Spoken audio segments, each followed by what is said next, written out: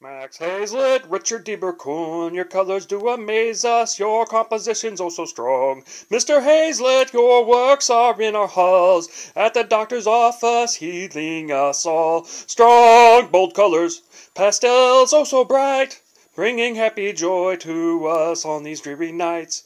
We are healed, we are healed, we are healed! Thank you so much for bringing light to us on these dreary nights as we await our diagnosis.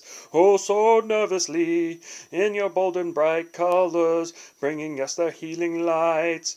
Mr. Dieberkorn, your works is not in the office, but it's in our hands in the Kindles and we see on our screens and in our books of visual history. Thank you both very much. You bring us inspiration and great healing. We need oh so much. Thank you, thank you, thank you. You will never know how much we appreciate it. Oh, so much. You will never know, you will never know how much we appreciate it. Oh, so much.